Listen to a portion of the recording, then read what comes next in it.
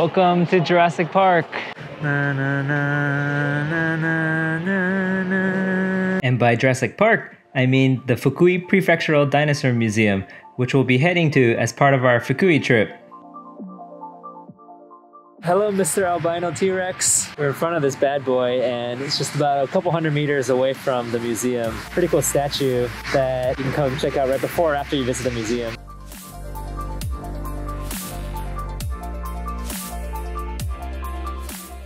And time for the Dino Museum. Okay, just kidding. Not that dinosaur museum, but this one. This place is actually super large. It's a lot bigger than we expected. 90% of people cosplay this in week.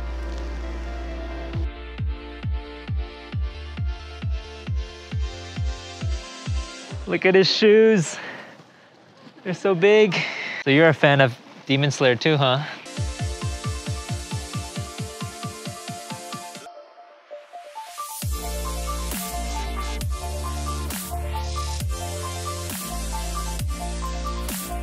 We finally arrived at Dinosaur Museum and we are so hungry and rushing the restaurant. It's a dinosaur themed restaurant and then look at the menu. It's all about dinosaur. So cute. So we ordered the kids menu. Even though we don't really want to eat this, we think it looked kind of cute and fun. So looks like a T-Rex head spewing out french fries. Let me open it. it's a shovel. I'm gonna excavate the fossil. Gosh. Oh, I found an egg in my own rice. So we got the, the burger as well, which is the shape of a T-Rex track. Kind of disappointed the, the, the chicken nuggets aren't shaped like dinosaurs. Feels like a pretty big missed opportunity for them. The taste is kind of average, but this is fun dinosaur shapes. Right. It's all about the creative. All right, we just finished lunch and now we're about to head into the exhibit.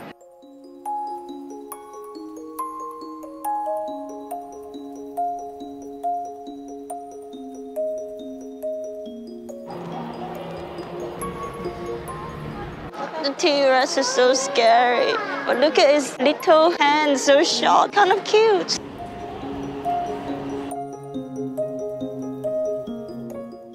There's so many cool dinosaur skeletons they have on display here. Most of these are obviously fake because you usually don't find the entire skeleton when you find the fossils. But every now and then there's a couple bones and fossils that are actual real things. The little boy in me is so excited to see all these life-size dinosaur skeletons, even though if they're fake.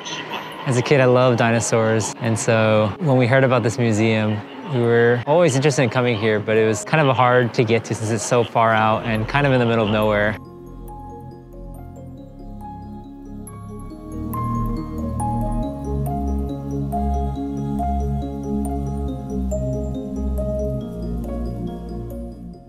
One of my favorite dinosaurs, Triceratops.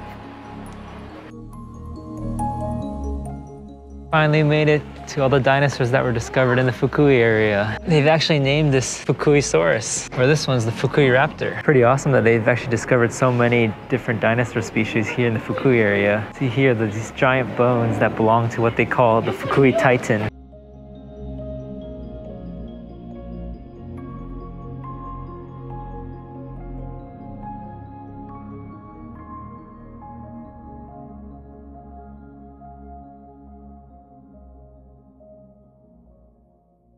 These are actual fossils that they're letting us touch. Not sure why, maybe because they're pretty common fossils.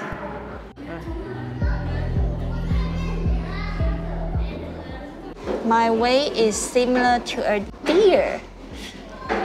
And if I want to compare with, say, T-Rex, is 173 times of my weight. And my weight is more than Dee's by a little bit.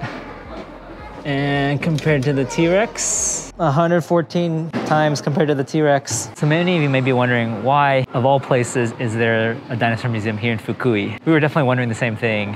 And it turns out that in Fukui, they discovered many fossils in this area.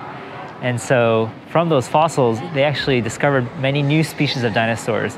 And from those, they ended up even naming these dinosaurs after Fukui.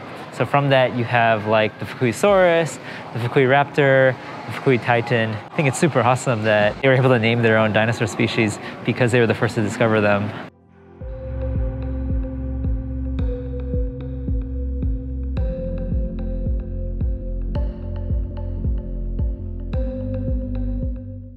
Because of the discovery, Fukui has become a pretty big excavation site where every year they're constantly discovering more and more fossils in this area. Finish exploring the museum. Before we leave, I'm gonna go check out the Dino Store. I really hope they came up with this name intentionally as a pun and not accidentally. And that's a wrap of the Dinosaur Museum. Thanks again for watching and be sure to stay tuned for our next video where we'll be exploring the rest of Fukui and Japan's countryside.